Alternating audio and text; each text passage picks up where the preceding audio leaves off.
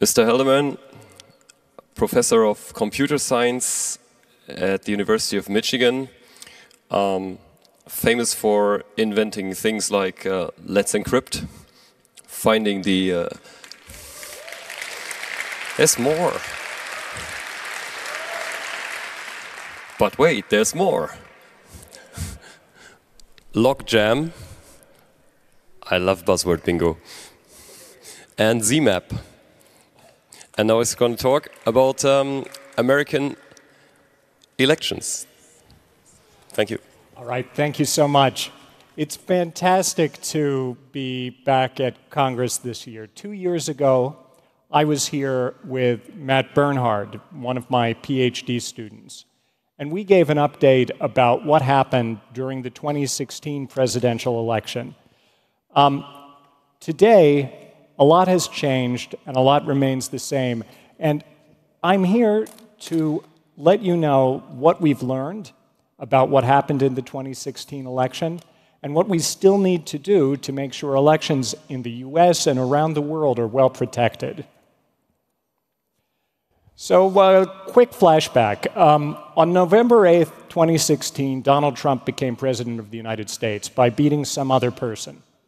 Now, history quickly forgets the um, losers in presidential elections, and it really doesn't matter who Donald Trump beat, because today, for better or for worse, he is the president. But how close was the election? President Trump likes to talk about how he won by a landslide. Um, but actually, he was the fifth person in uh, American history to win the presidency while losing the popular vote. In fact, um, his opponent received 3 million more votes in the election than President Trump did. Um, how can that happen? Well, we have this crazy system called the Electoral College. And um, in the Electoral College, each state has a certain number of points, and Donald Trump ended up getting more of those points. But if we want to ask how close was the election really, well, that depends on the way each state allocates its electoral votes, and most are winner take all. So we might ask how many votes in how many votes would say an attacker have had to change in the smallest number of states in order to change the election result, in order to say make it a tie instead of a win for President Trump. And it turns out that if you look at the three closest states, they could be flipped with a very, very small number of votes changing. And changing just any two of these three states would have been enough to reverse the outcome of the presidential election. If we look at the next few closest states, they also have very small margins, and any three of these six states would have sufficed to change the election result. In total, just changing 27,500 votes from Donald, Trump's, uh, Donald Trump to Donald Trump's opponent would have changed the outcome of the US presidential election. There were 137 million votes in total. That's a change of just 0.02%. That is a very close electoral result by uh, even contemporary American standards. And that's why the possibilities of computer hacking, voting machine manipulation, information warfare that actually did take place, some of them in 2016, not only have the possibility to have affected the 2016 election result, but stand to have the possibility to affect future election results as well. And that's why election security is so important right now. But if we go back to 2016, when I was speaking here two years ago, um, the main thing I was talking about were recounts in three states Wisconsin, Michigan, and Pennsylvania um, that I and other election security advocates had a big role in orchestrating. Well, we realized after 2016 that this was a close and unexpected election result, but no one was going to go back and check the physical evidence of the votes, the actual paper ballots in any states that in, in uh, states that really mattered, to make sure that the computer election results we had been told about were right. Well, when I and others pointed this out to the public, it resulted in an overwhelming show of support. And um, one of the third party presidential candidates, Jill Stein, stepped in and had the legal standing to demand recounts in states where she stood for election, even though she had no chance of winning. And she raised, through small donations from the public, more than $7 million to fund efforts to go back and count and check the votes to make sure things were right. Unfortunately, a recount after an American election is a politically fraught process. And um, in all three states, we found opposition from uh, the apparent winner of the election. We found uh, challenges in the courts. And only one of those states, Wisconsin, ended up recounting all of its ballots and found no evidence of fraud. In Michigan, the recounts were halted after uh, only a few days, with less than few of the uh, half of the votes counted um, after a court um, challenge by the Republicans. Again, no evidence of fraud in the votes that were recounted. And in Pennsylvania, unfortunately, like many states, most of the state had no paper trail at all. There was nothing to recount, just digital records and machines. The courts denied the um, Stein campaign the right to have independent experts examine the machines. And um, in uh, very few of the places in the rest of the state, the small amount that did have paper actually did complete a recount. But still, there was no evidence of fraud. So, in all, there is no evidence that hacking of voting machines, hacking of actual vote counts, changed the outcome of the 2016 election. But there is abundant evidence that cyber attacks of other forms had a major influence on the election, certainly could have a huge influence on future elections. And that's what I'm going to talk about today. So, first, looking back at 2016, in the two years since I was last here, we have learned a lot more about what really took place during the 2016 election.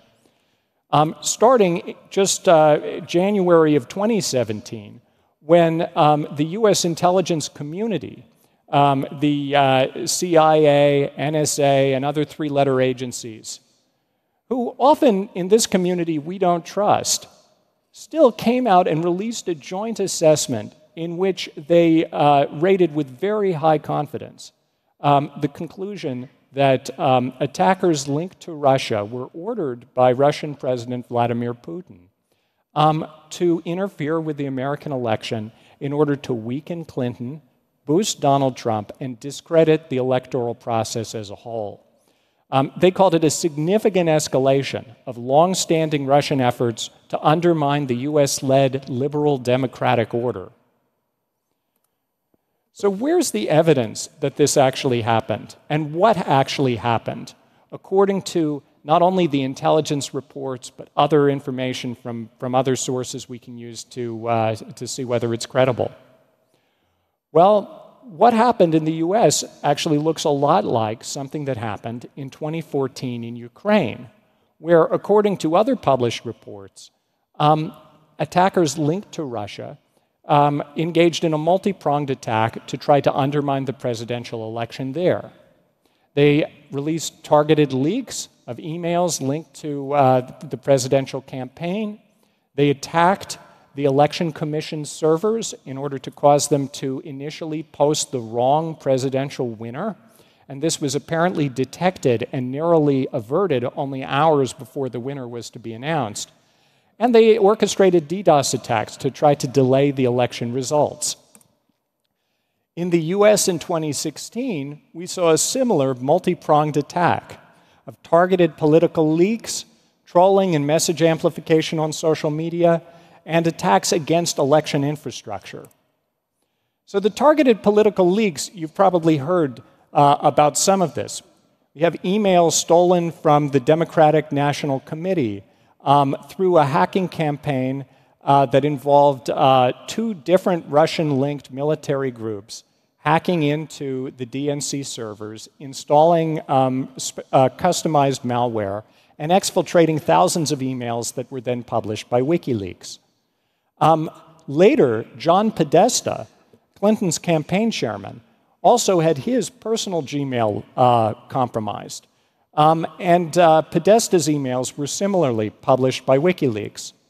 Whatever you think about WikiLeaks and government transparency, and I myself, I'm a huge fan of transparency, there's clearly something subversive and manip- manipulative about just one side being targeted and being targeted by other foreign nations and having its dirty laundry aired for the world to see. This is subverting the entire notion of transparency, turning our need for true information about politicians against us, and manipulating the entire process. John Podesta, since his emails were all leaked to the public, well, we can go and see the phishing attack email that got his password, and here it is.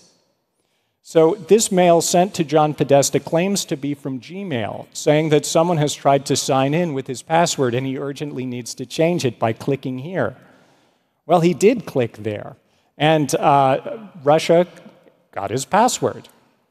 We also see his staff talking about this email, and one of his staffers recognized that this was a phishing attempt and uh, emailed urgently telling John Podesta to change his password immediately. But he typoed. In dashing out this email, he wrote that this is a legitimate email. He's, he claims, he's subsequently claimed every time he's talked about it, he meant to write illegitimate, not legitimate. Well, the rest is history. A couple of extra letters might have changed a lot. So, beyond the email leaks, we've seen an orchestrated campaign on social media through trolls and false, uh, uh, false identities to try to manipulate people's opinions, to try to create political divisions between people, to try to amplify certain discordant messages. That could be a whole talk in itself. And I'm not going to go deep into the trolling and message amplification, um, but it's a subject that is an ongoing form of attack um, that, again, turns our tools of communication against us.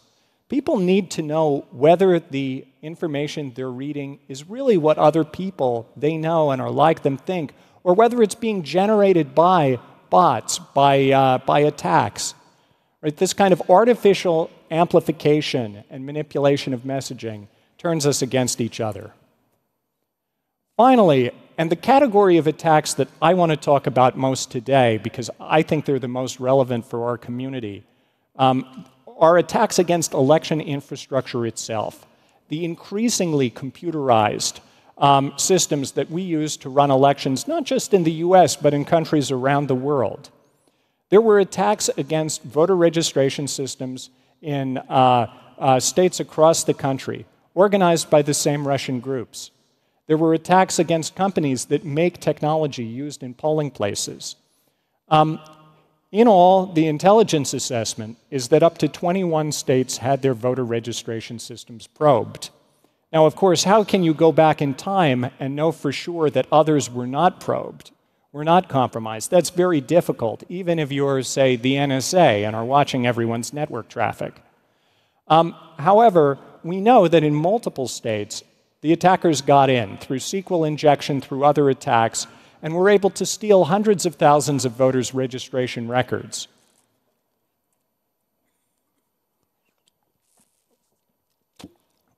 More information came out later um, in 2017 through leaked information from NSA. So, um, this woman, Reality Winner, an NSA contractor, leaked to The Intercept uh, a series of intelligence assessments that show the Russian um, attacks went even farther. Um, that they executed uh, attempts to break into the computer systems of at least one election computer software vendor, and then, after breaking into their systems, started trying to phish their way into the computers of local election administrators, the people who actually run the technology on election day. Um, for sharing this information with us, uh, Reality Winner is currently serving a five year prison sentence for violating the Espionage Act. But the information that she leaked has since been corroborated. Um, in July of this year, um, prosecutors in the special counsel's office, this is uh, the Robert Mueller investigation of Russian interference and collusion, um, indicted uh, a set of GRU officers, Russian military officers, in conjunction with the uh, voter registration system attacks, the theft of email from the Democrats, and the attempts to indict local election officials. If you're interested in this stuff, I highly recommend you read this indictment. It's about 20 pages of very detailed information, uh, asserting to, uh, uh um, uh, apparently detailing exactly who these people were, where they worked, what they did, step by step. Now, it's scary to think that we might have such detailed information about crimes that took place in the past. It doesn't say how we learned, for instance, that this uh, certain uh, officer, uh, Anatoly uh, Kovalev, um, was uh, working for Unit 74455 of the GRU at 22 Kirova Street building, the tower and quite how he uh, uh, pulled off each step in the attack that's asserted here. But as the Mueller indictments advance, as the special prosecutor's case comes together, we're likely to learn a lot more. And uh, what's to come in 2018 as the Mueller investigation winds down, I think we're going to learn a lot more about quite who ordered what, about who in the United States was involved and about whether the attacks went even further than we have so far discovered.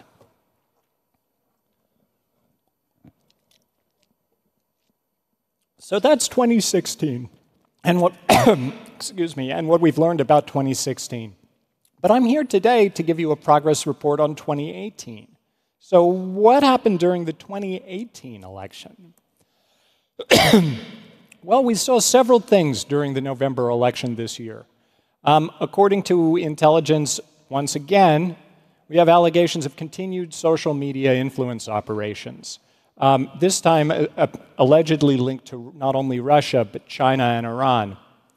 Now, I, um, I think it's very difficult to independently comment and establish on whether these allegations are true, and, or even to understand the full extent of the social media involvement because it's just a small set of large internet companies that have the raw data that we need to analyze. However, the best reports we have are these assessments from the intelligence community that the social media influence is ongoing. We also saw sporadic breakdowns of voting machines. Now, patterns of breakdowns of voting machines could be the indication of an attack, but in 2018, all of them seem to have perfectly natural explanations, in New York City, for instance, many optical scan machines broke down and jammed and caused long lines, but apparently it was because it was raining. And uh, that causes the paper to swell a little bit, these machines to misfeed, and so on. So this is probably just natural failure. We also had unfortunate human error um, for not the first time. Uh, an election in Florida potentially had the result changed because of very bad usability design in just the layout of the ballot. So in Broward County, uh, Florida, 3.7% fewer voters cast a vote at all in the US Senate race than the race for governor. Um, this was potentially enough because of the demographics of Broward to change the outcome of the Florida Senate race. Here's why. Here's the ballot. So, this is the race for governor, which um, most voters filled out as you would expect. Right down there, underneath that long column of instructions, is the US Senator race. So you imagine this ballot, it's uh, much larger than a normal piece of paper. At the bottom of that is hanging off your desk as you're filling it in. I can see how 3.7% of voters might have completely missed that race in the first column. Finally, we had old fashioned political fraud. In North Carolina, a race for the House of Representatives was decided by only about 900 votes. But it's come out since then that operatives working for the uh, Republican candidate um, allegedly stole or manipulated a large number of absentee ballots. And the candidate there hasn't been certified yet, it likely won't be seated on time. There's uh, multiple investigations going on into exactly what happened. But it goes to show you that political fraud is a reality. And even outside the domain of computers, it continues to this day. Now, if you can imagine, an election can be changed by just a few people working on the ground, going around collecting people's mail in ballots and promising to return them for them.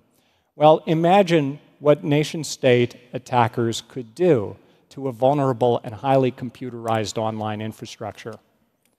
But on the whole, 2018 was, well, eerily quiet. But if we go back to 2016, so the U.S. Intelligence Senate Intelligence Committee, a bipartisan group controlled by uh, Republicans in the Senate, issued its report earlier this year about 2016. They pointed out that they found that in a number of the states where Russia attacked the registration systems, the Russian hackers were in a position to, at a minimum, alter or destroy the voter registration data, which, if undetected, would have caused massive chaos on election day when people showed up to vote and were told that they weren't on the election rolls. But those attackers chose, to pull, chose not to pull the trigger. And I think that's exactly what happened in 2018. It was quiet, not because we've adequately secured our election systems, but because our adversaries this year chose not to pull the trigger. They're waiting for the bigger prize in 2020 when we're likely to once again have a close and divisive presidential contest. So, um, what do I worry about? What I worry about most is not the last war, registration systems, all of that, but the bigger prize the 2020 election and the vulnerabilities in the way that we cast and count votes in the US. Now, I testified about this um, in uh, 2017 to the Senate Intelligence Committee, and uh, that's, that's actually not me, that's, uh, uh that's former FBI Director Comey. Um, but two weeks later, I was st- sitting in the same chair with far fewer TV cameras um, and testified that the real lesson of 2016 is that the threats are real and that the attackers will be back. And this is the picture I painted. So, US voting machines have their own extreme set of vulnerabilities. I was going to bring one of these machines, an AccuVote TSX, with me here today. This machine is um, still used in many parts of the US. Um, but my machine has been in Germany for about a week, and FedEx doesn't know where it is. So um, if it shows up, I'll have it somewhere for people to play with. But uh, my, my advice is if you have to ship something urgent to Germany, don't send it via FedEx. What I would have shown you, though, is a mock election on this machine. And the mock election I, I always like to do to keep it from getting too political is between George Washington, the father of the country, and Benedict Arnold, the traitor of the American Revolution. And of course, everyone likes to vote for George Washington. But these machines are so vulnerable. So I would have shown you an attack whereby I can compromise this machine and cause it to report the wrong election outcome without having any direct physical access to the voting machines. Instead, all an attacker needs to do is be able to infect these memory cards that election officials use before every election to program the machine with the design of the ballot that is, the races, the candidates, the rules for counting. If an attacker can infect the memory card, there are a whole host of different ways that the attacker can compromise the machine and install malware on the voting machine itself. Um, there's an unauthenticated software update mechanism that can replace the election software. There are buffer overflows in the code that's used to read the ballot design and process it. Right, there's even an interpreted programming language that's used to generate the reports of who won. So you can just replace the honest counting software with dishonest counting software right on the memory card, and that's what will get executed and determine the election results. Any of these ways would be sufficient. So when the machine counts the votes at the end of the election, it prints out a little cash register receipt that becomes the official record of the result. That's controlled by the interpreted programming language uh, on the memory card. And on my machine, no matter who you vote for, Benedict Arnold is going to win. And that's because the malware I install via the memory card is in complete control of the election results. And there are more problems than that. So these voting machines, like the AccuVote TSX, have been studied by academic researchers, by independent researchers, by um, groups commissioned by secretaries of state in various states around the country. And every time the same machine is studied again, groups find new vulnerabilities. This is part of the table of contents from a report I helped author 10 years ago about the AccuVote TSX. And you can see just this is one page of several pages of vulnerabilities in this single machine. These things are so poorly designed, they're so complex. Each of the voting systems has on the order of a million lines of source code. And that's on top of, in this case, on top of an old and unsupported version of Windows CE. There's no way that these things could possibly be secure. But the AccuVote TSX is still used in 18 states. In many of these states, it's still used with software that predates that 2007 report I just showed you. We've had known buffer overflows and other problems in this firmware for more than 10 years, and some states still have not updated the software. That's how bad it is. But it's not just that one machine. So in the US, every state gets to pick its own election technology. There are no federal rules that require states to do any particular kind of technology or testing.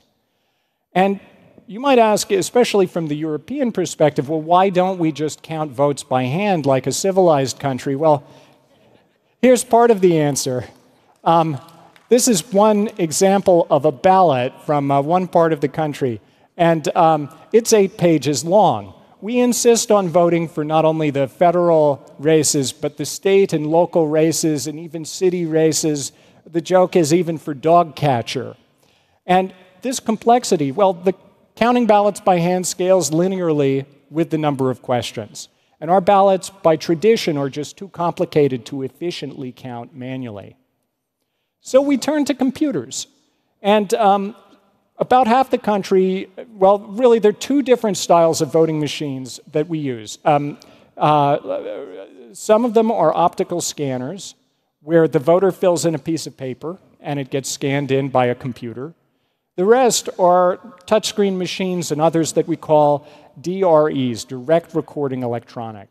On these machines, voters cast a vote on the screen, it gets recorded in electronic memory. Some of them will also generate a printout of each vote, but that's relatively rare. In many cases, the only record of the vote is in a computer memory. So, in study after study, these machines have been examined. And in every case, for both the optical scanners and the DREs, where a machine has been tested by qualified people, well, it's been found to have vulnerabilities that would allow an attacker to install vote stealing malware and change the re electronic results, every single case.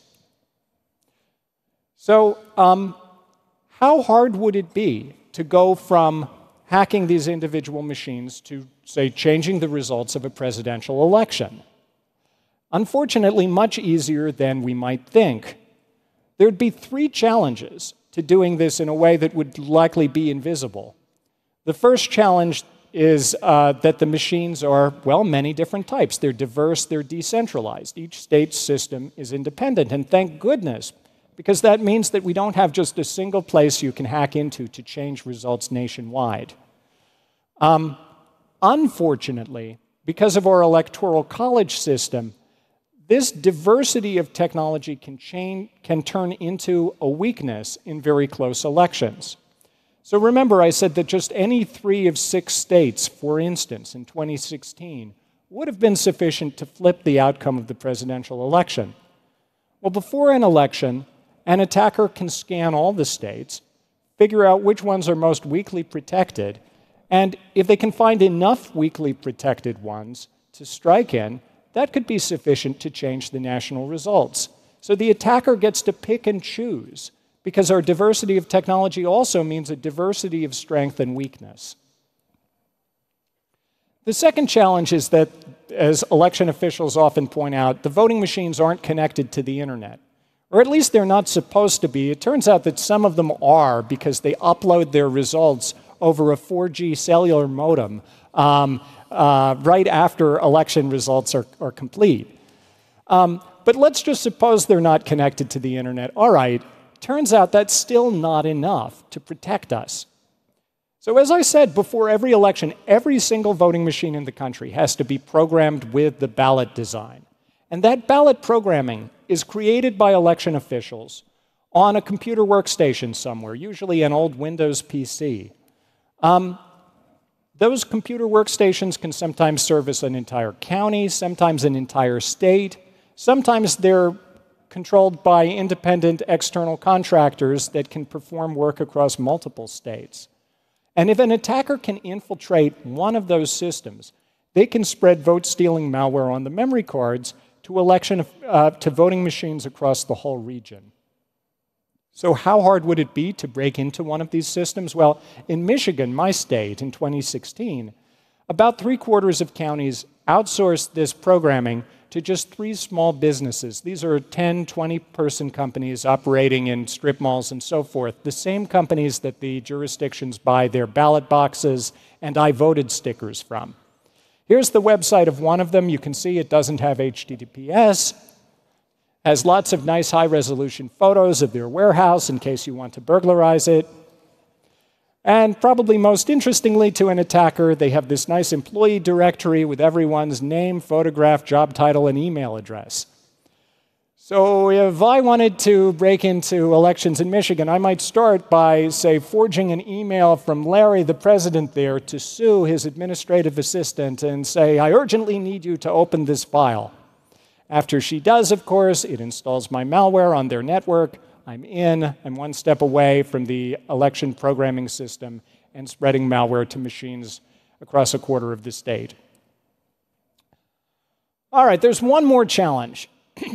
and that's that today, more than 70% of US votes are recorded on a piece of paper. And this is great. This is much more than 10 years ago because officials have been listening to computer scientists and security experts who have been warning about the dangers of fully electronic voting. Now, paper might seem like a step backwards, but it's actually a pretty high tech way of thinking. In any kind of critical system, if we can afford to have a physical failsafe in case of technology problems, it's a good idea to do that. This is why, if you fly on a commercial aircraft, well, it has a very fancy satellite guided navigation system, but also by law, there's a magnetic compass in the cockpit. It's also why in your car, well, you probably want to have a mechanical linkage between the brake pedal and the brakes, just in case, well, you know. So, paper can be a very sophisticated defense. Um, it's relatively slow and expensive to tally, but it's something that's verified by the voter and that can't be changed later in a cyber attack. Meanwhile, we also get an electronic record from systems like optical scanners that's fast and cheap to tally, but unverified. As long as we make sure that these records agree, well, then changing the election result would require you to change the electronic record through a high tech attack and the paper records through a low tech attack and in a way that agrees. And that would require a truly extraordinary conspiracy. And to check that the paper is right, well, we have high tech approaches to that too. You don't have to count all of it. In fact, over the last 10 years, computer scientists and statisticians have developed very sophisticated ways of just spot checking the paper record to make sure that it's right. And these are called risk limiting audits. A risk limiting audit is a statistical process in which you can count randomly selected ballots until you establish with high confidence that hand counting all of them would determine the same winner. Um, there are many ways to do this, but they all turn out to be, or many of them turn out to be, incredibly efficient. Um, in a typical state with a, um, a fairly wide margin of victory, just spot checking a handful of ballots might be enough to establish with high confidence that the winner really did win by a landslide. Of course, if the election result is a tie, logically, you do have to look at all the ballots to establish that it is indeed a tie.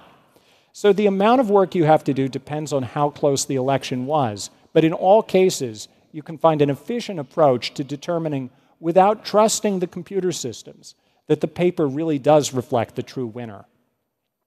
Unfortunately, well, most states don't do risk limiting audits. In fact, most states don't look at enough paper at all to determine that the winner of a close election was genuine. So, hacking a national election would probably be easier than most of us thought.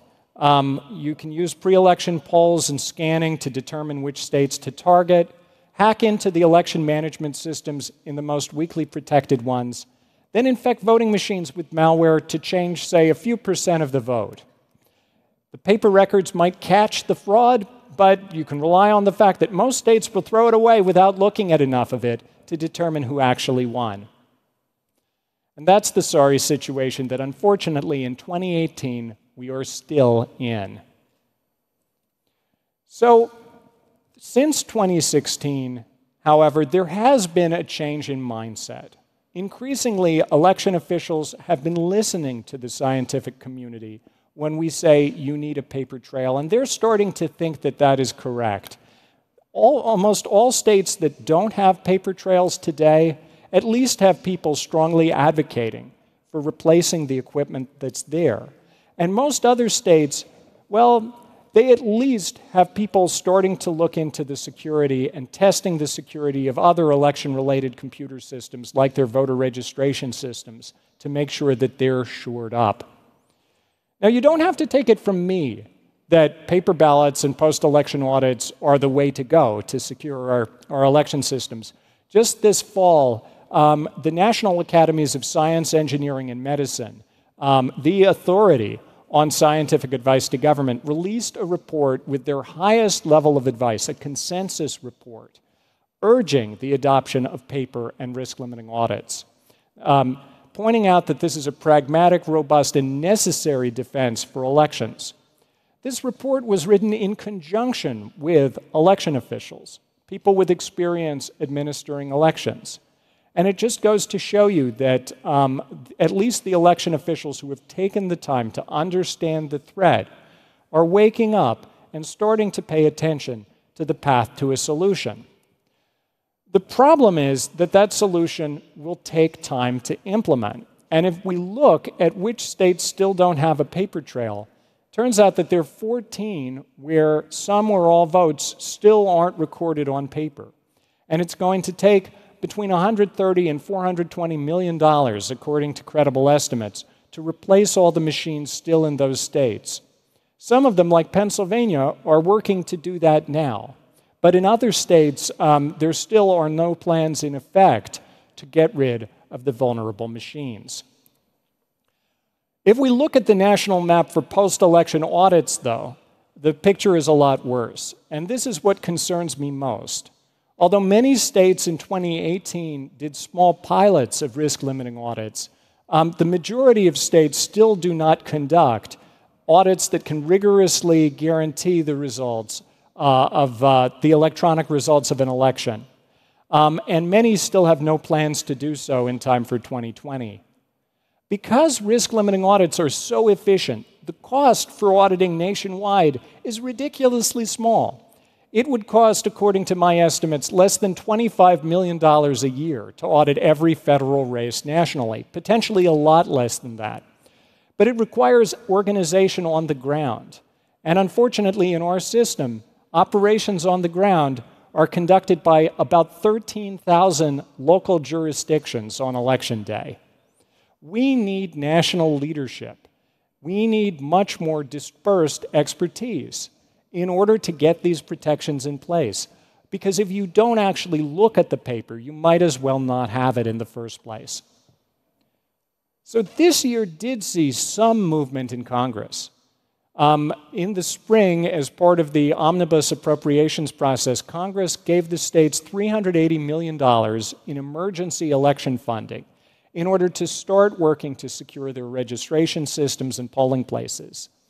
Um, this was great in that it was money available immediately. And if you've been paying attention, getting Congress to do much of anything these days is pretty hard. Um, on the other hand, the money came with very limited oversight, with no standards about how that money should be used, and isn't even enough to eliminate all of the paperless machines um, because of the way it's spread out amongst the states. But it's an important first step.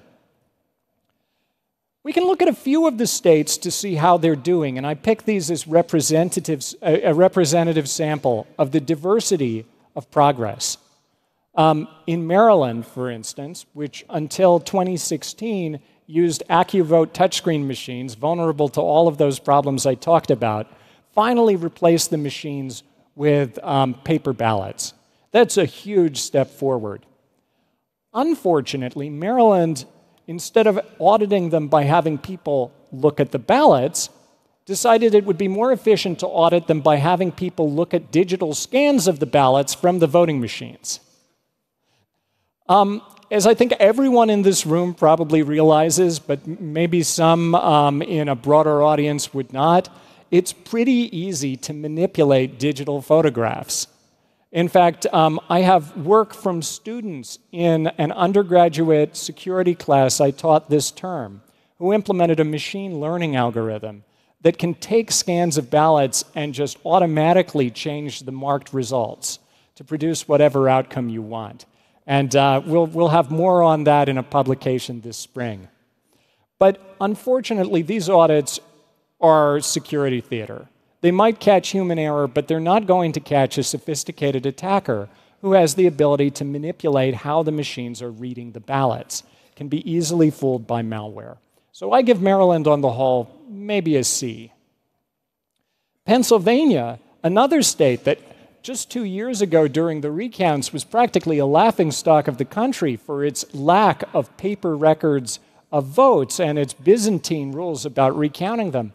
Well, today is making really good progress. The state recently committed to replacing all of its paperless machines with paper ballots in time for the 2020 election.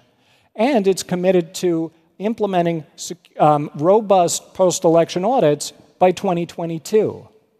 Unfortunately, 2022 is going to be too late to secure the 2020 presidential election, and this just emphasizes the need to get moving more fat, more quickly. Um, there are also questions about whether the auditing regime they implement will be truly statistically rigorous. There are a lot of details to get right. But on the whole, Pennsylvania has made so much progress. I think out of sympathy, I can give them a B. All right, now let's look at a top performer. This is the state of Colorado. Colorado has become a leader in election security because not only does it have paper ballots statewide, um, largely vote by mail, which has its own problems, but that's a, a subject for later. But Colorado also was the first state in the country to implement these statistically robust risk limiting audits statewide and has been doing it since 2017. They've got both of these critical protections in place. And yes, they actually do choose the random seed for sampling the ballots during the risk limiting audit by rolling a set of 10 sided dice. So that's a great way to do it in a public ceremony. So Colorado gets an A. They're very well protected by these standards. Then there's Georgia. so Georgia, in 2018, voted statewide with the AccuVote TSX voting machine, the one that FedEx has that I've hacked. Um, they haven't updated the software in their AccuVote TSX machines since 2005. And they claim that the machines and their election programming systems are air gapped, but uh, during a, a court hearing about this earlier this fall, their head of elections described that their system was air gapped. Yes, it's perfectly secure, it's air gapped. The only way you can get into it is through the bank of modems attached to it. it's air gapped except the bank of modems. Also, it turns out he programs it by moving a USB stick back and forth from his personal laptop. Aye. Georgia also, of course, doesn't have robust audits because, well, meaningful post election audits would require a paper trail, and none of those machines have paper. This alone would be enough to give Georgia an F. Except there's one more thing their voter registration system also was shown in 2018 to have some problems. So you're not going to believe this story. One more story. So in Georgia, they do online voter registrations through a, uh, a website. And in 2018, just a few days before the election, um, the Georgia Democratic Party learned from uh, one of its, uh, from someone working for them, from a volunteer, about a series of vulnerabilities in this voter registration system.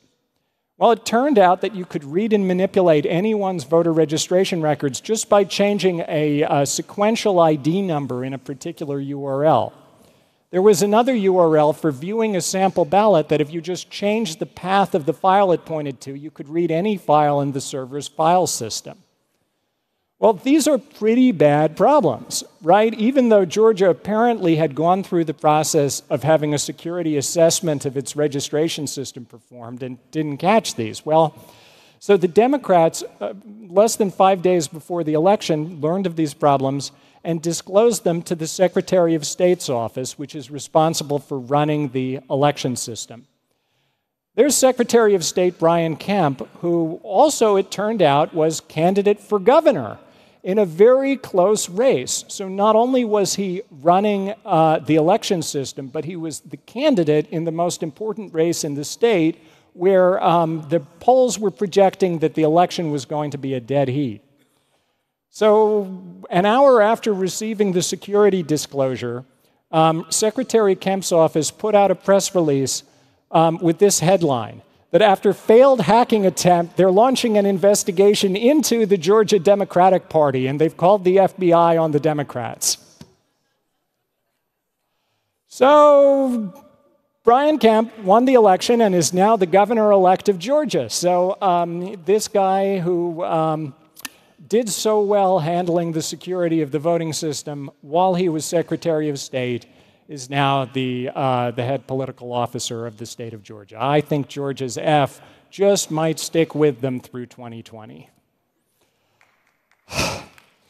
so, thank you. So, there is hope, though. I want to end on a message of hope because despite this, um, with all of these different levels of rigor and of readiness across the different states, I believe we need more national leadership, national standards, and national resources thrown into securing elections. And a bill to do just these things made a lot of progress in the Senate during the past term. This is a bill called the Secure Elections Act that um, was introduced by Senators Lankford, Republican of Oklahoma, and Klobuchar, Democrat of Minnesota. And it ended up gathering a large number of bipartisan sponsors split evenly between Republicans and Democrats.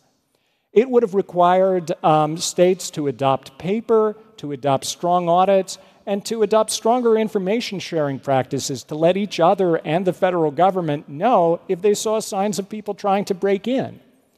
This bill made it a long way, um, but unfortunately, uh, got uh, stuck in the committee uh, after some opposition from the White House, um, just days before it was going to be marked up and hopefully then made it, make its way to the floor. But this shows that bipartisan cooperation is possible, even in this Congress, and that there are a lot of serious people who now realize that election cybersecurity is a matter of national security and defense. I think in the next Congress, there's a good possibility that we will see effective legislation um, to provide national standards and leadership for elections. But it's a question of, of uh, threading a political needle and getting Congress to act. So, to defend our elections, we don't need rocket science. We need simple steps like applying security best practices and expertise to secure registration servers, adopting a paper record of every vote, and applying simple post election audit techniques to make sure the paper record is right. If we do these things, well, we'll have a much more robust and evidence based election system that can detect and recover from attack attempts. Unfortunately, today, our dialogue about elections isn't based on evidence, it's largely based on faith. On faith in the democratic process, on faith in the people and the technology that's responsible. But I think voters deserve better. Voters deserve, if they're reasonably skeptical, to have it proven to them that the election result was right. And that is possible with simple and practical technology that we have today. All it's going to take is national leadership to make sure that all states, even states like Georgia, adopt the necessary protections soon. So, what can you do? Well, as a hacker or a computer scientist, you can work with your election officials to help explain the technology, the threats, and the defenses. You can work to explain the threats to the public because we all need to understand, just as a matter of modern civics, how elections can be attacked and defended. You can work to build better ways to use technology to make voting on paper easier and more efficient. Well, technology can help voting in a lot of ways. Just we shouldn't trust it as the only way in which votes are counted and results are determined. And as a citizen, well, you can demand that election authorities implement paper and risk limiting audits, get involved through activist groups to help campaign for protections like this, and um, especially please urge the US Congress to pass legislation like the Secure Elections Act and similar bills to make sure that election systems across our country um, achieve these security properties. You can learn more from um, an online course I have for free on Coursera called Securing Digital Democracy that provides um, several weeks' worth of material about the history and the technology of election defenses. But we've got to get going. It's only been two years, believe it or not, since Donald Trump became president. And it's only about 22 months until the next presidential election. It's time to get moving. Thank you.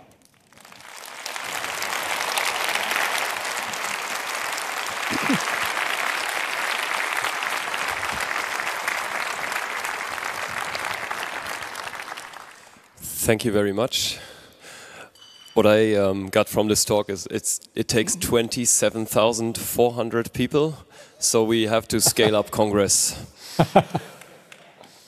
uh, we're going to do a Q&A, and um, I think we'll just uh, start with uh, mic number two, because I can see that one. Thanks for the great talk. Uh, what if someone targets the... If not?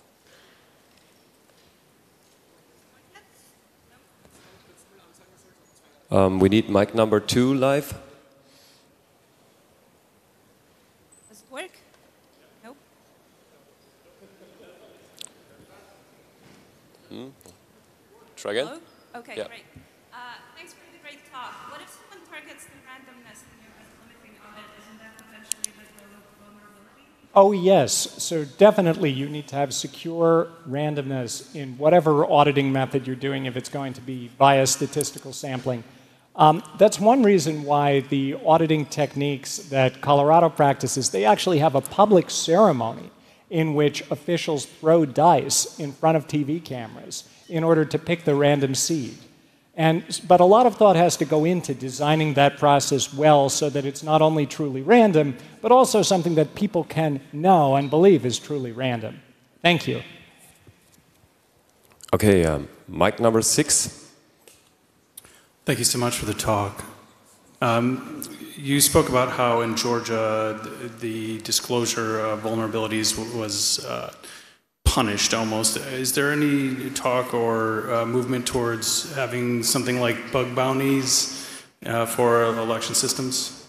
Um, yes, in fact, there's another bill that was introduced in, in Congress that would do just that and establish a kind of um, bug bounty program. Um, I'm not sure that that idea yet has uh, a lot of legs, um, but I think it would help. Um, I think right now, though, we don't really need all that much more incentive for people to want to try to help secure democracy. A lot of people, including, I'm sure, a lot of people in this room, would gladly volunteer to do so. We need a way of organizing that effort and making sure that people can discover and report problems without fear of having it turn into some political weapon to be used against them. Mic number one. Yeah, hey, thanks for the talk. Um, like the case in Georgia doesn't sound that terrible because like in Lithuania a couple of years ago we had this issue where you just didn't need to change the URL, you just did have to refresh the page and here you go, you have a, the information about different uh, citizen. My question is like, uh, like what if the paper trail leads to the knowledge that the uh, election was rigged in some particular area, like two years after the election or like one year after the election? What happens then? Does it change anything? A year or so after an election would be a great catastrophe if we only learned then that the political leaders were not legitimately elected. We don't really have any precedent for that. Um, that's why the uh, recommendation and what some states like Colorado are starting to do as they're implementing stronger audits is to make sure the audits are completed as soon as possible, ideally before the election result is certified. Um, I recently came out with a paper um, uh, with uh, Philip Stark and Ron Rivest that gives an audit system that you can start doing even the moment polls close on election night, and perhaps have in a not so close election a full, complete audit by the time results are announced uh, on election night. So it's possible to do it quickly with sufficient organization. Okay, mic number eight. Hi. I'm curious about the attribution of the attacks. Uh, is there possibly um, any instance at which you would be not sure that it was Russia that who performed the attacks, or maybe it was China? So how do you know that it is exactly Russia, or China, or India? Well, so all we have to go by, really, is the um, assertions of our intelligence agencies in the US, and in some cases, like for the Democratic National Committee uh, breaches, the assertions of private security firms that were involved in the investigations. And I agree with you, attribution in general is a darn hard problem. Um, but if you're willing to accept the credibility of the intelligence reports and read between the lines just a little bit, it looks like the reason, the basis for their attribution is largely not technical, but based on um, intercepted communication of people who were involved in organizing the attacks in Russia. And I, I think more information about that is likely to come out as the Mueller investigations proceed.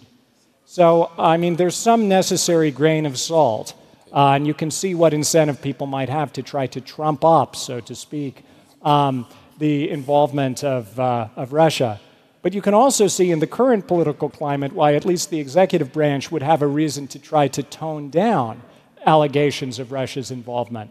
So um, you'll, have to, uh, you'll have to interpret the, the weight of the evidence as you will. Okay, the last question from the internet. Um, we're running out of time, sorry. Has any organization or group unveiled a voting machine designed to address all of the security issues that you have brought up here? Is there a solution to the problem?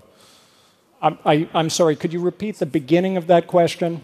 Has any group or uh, organization unveiled a voting machine that is designed to address all of the security issues that you have brought up? Okay, so there are efforts um, to develop voting machines that are based on open source software, that are based on better validated software. Um, Ben Adida, um, a uh, researcher in this area who uh, did uh, has done a lot of great work, is uh, one person who's recently launched an effort to do that, uh, although there are others.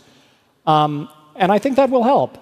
Um, but at the end of the day, I think however well designed the software in our voting machines is, that can raise the bar for attacks, but it's never going to be enough to also be able to convince skeptical voters that everything is okay, because, well, among other things, how do you know that that software is really what's running in the machines that are counting your votes? So um, there's a lot we can do to make voting machines better. Um, at the end of the day, they're also going to have to have that paper trail and those statistical audits so that everyone can believe the results. Thank you very much. That concludes the talk. Thank you.